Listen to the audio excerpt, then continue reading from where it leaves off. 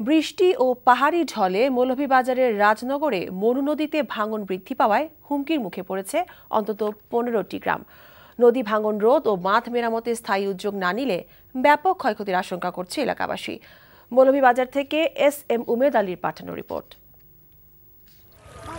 রাজনগর উপজেলায় মনু নদীতে প্রতি বছরই কম বেশি ভাঙন দেখা দিলেও এবার বৃষ্টি ও উজান থেকে নেমে আসা পাহাড়ি ঢলে ভাঙন বেড়ে গেছে।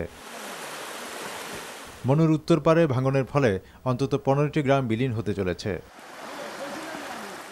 কোনাগাঁও, টগরপুর, আদিনাবাদ, উজিরপুর, ভাঙ্গারহাট গ্রামের বসতবাড়ি শিক্ষা প্রতিষ্ঠান মসজিদ, রাস্তাঘাট ও নদীর বাঁধ এখন হুমকির মুখে। ভাঙন রোধে পানি উন্নয়ন বোর্ডকে ব্যবস্থা নেওয়ার দাবি জানিয়েছে স্থানীয়রা। ওদের দাঁড়াতে বাড়িটা দয়া সাইড গেছে গিয়া কিন্তু আগে তদবির করলে বাড়ি যায় না।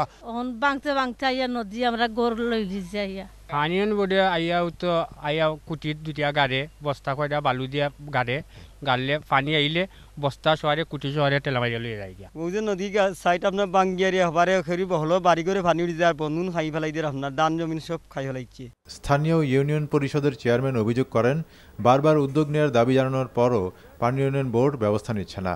অন্যদিকে পানি উন্নয়ন বোর্ডের নির্বাহী প্রকৌশলী এই অভিযোগ মানতে নারাজ।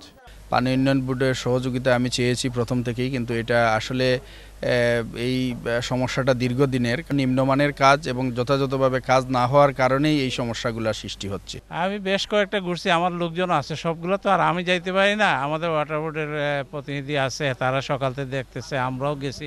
মনু নদীর বাঁধ মেরামত ও ভাঙন রোধে শিগগিরই ব্যবস্থা নেওয়া হবে এমনটাই প্রত্যাশা এলাকাবাসীর। NTV News Desk.